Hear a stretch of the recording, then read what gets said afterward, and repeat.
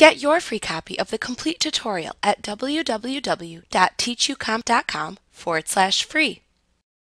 In addition to creating PDFs for electronic publication, Acrobat can also be used to create PDFs for print production.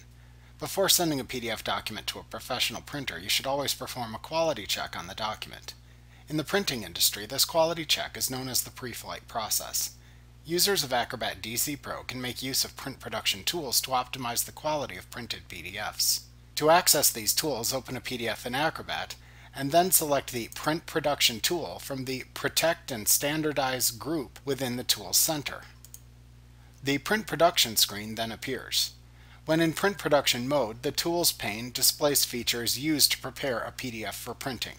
The Output Preview tool lets you simulate how a PDF will look when printed, this is especially helpful when trying to manage color profiles in a document.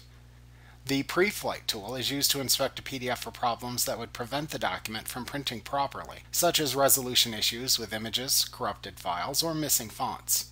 The Edit Object tool lets you make changes to an object during the pre-flight process.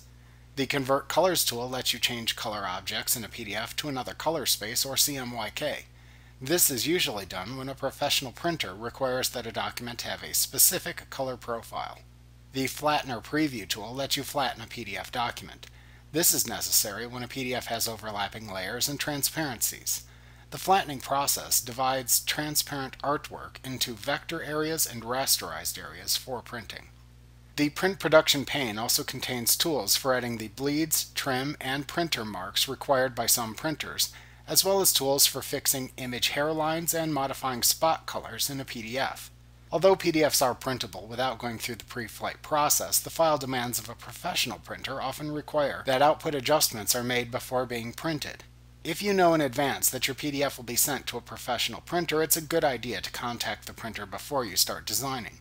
You can often save time by asking for printing requirements in advance. Like what you see? Pick up your free copy of the complete tutorial at www.teachucomp.com forward slash free.